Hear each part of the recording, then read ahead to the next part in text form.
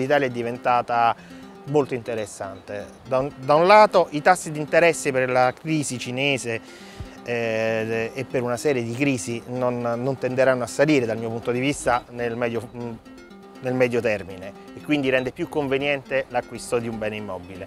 Dall'altro gli, gli investimenti alternativi rendono pochissimo e sono più rischiosi. Quindi l'Italia oggi è, non è ancora cresciuta di prezzo, è ancora ai minimi rispetto ad altri paesi che invece l'Inghilterra sì è bellissima, cioè, sa benissimo, è inutile se lo sa meglio di me, è ai minimi, è, ehm, è sicura dal punto di vista, è, è un paese che non ci si aspettano sconvolgimenti o cose difficili e quindi siamo molto interessanti. Il problema è il tipo di offerta, io da quello che loro dicono, è il tipo di offerta che l'Italia in questo momento è in grado di dargli.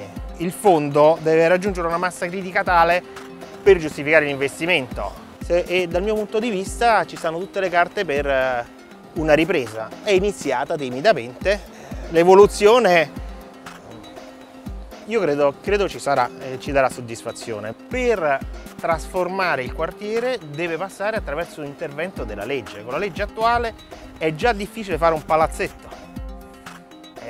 Milano è diversa perché Milano ha delle industrie al centro della città che si possono demolire e ricostruire.